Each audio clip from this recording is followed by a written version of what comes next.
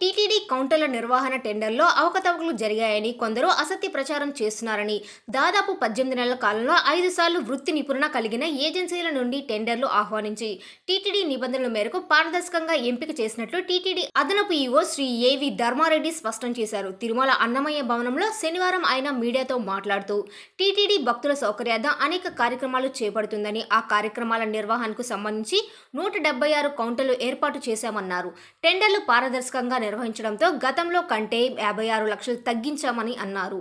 ప్రస్తుతం కౌంటర్లు నిర్వహించేవారు నలభై వేలు చెల్లిస్తే స్పాన్సర్షిప్ పొందొచ్చని తెలిపారు. త్వరలోనే అన్ని కౌంటర్లకు స్పాన్సర్షిప్ వస్తుందని భావిస్తున్నామన్నారు. ఉచిత దర్శన టికెట్లు జారీకి టోల్ గేట్ల వద్ద టోకన్ల కేటాయింపుకు గదుల కేటాయింపుకు లడ్డూల జారీకి కౌంటర్లు నిర్వహిస్తున్నామని చెప్పారు. రెండు వేల ఇరవై మార్చిలో త్రిలోక్ సంస్థ టీటీడీ సర్వీసు నుండి తప్పుకుందని గతంలో త్రిలోక్ సర్వీసులు ఉచితమని చేస్తున్న ప్రచారం పూర్తిగా అవాస్తమన్నారు భక్తుల సేవల్లో పారదర్శకత కోసం తీసుకొచ్చిన అద్భుతమైన విధానాన్ని వక్రీకరించి భక్తుల మనోభావాలు దెబ్బతీసే విధంగా అసత్య ప్రచారం తగదన్నారు. ఈ సమావేశంలో డిప్యూటీ ఈవోలు రమేష్ బాబు హరీంద్రనాథ్ వెంకటయ్య లోకనాథం ఐటీ విభాగాధిపతి శేషారెడ్డి తదితరులు ఉన్నారు.